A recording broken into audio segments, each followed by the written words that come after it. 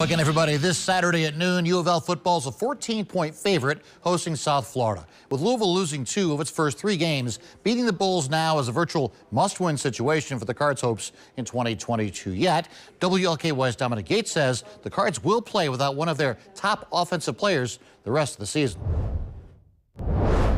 Louisville is battling some injuries. Tiyon was a question mark, ended up not playing. A couple of linemen were, were dinged up. Um, Tiyon's back this week, so should be full go.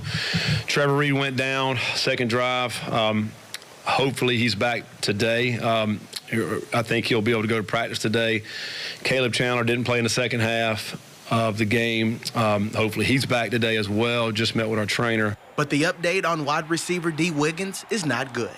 Unfortunately, Wiggins is going to have to have surgery um, this week uh, on, on a on his foot, on his toe. The transfer wide receiver from Miami is expected to miss the rest of the season. He worked extremely hard um, all off season, um, spring, summer, um, and, and, training camp. He had a great training camp. In fact, he was our you know offensive breakout player of of, of, of camp, um, and he was really starting to come on. Um, and so it really hurt for him. Through the first three games, the Cardinals have just one passing touchdown.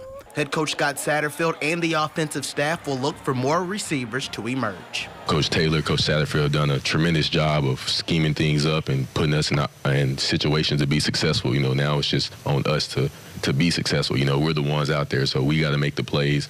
We got to cut out the self-inflicted wounds, and um, I think that's that's going to be our next challenge. And once we can get over that hump of, of, you know shooting ourselves in the foot, you know, I think you'll be able to see this team take off for the rest of the season. I'm Dominique Yates, WLKY Sport. Thanks.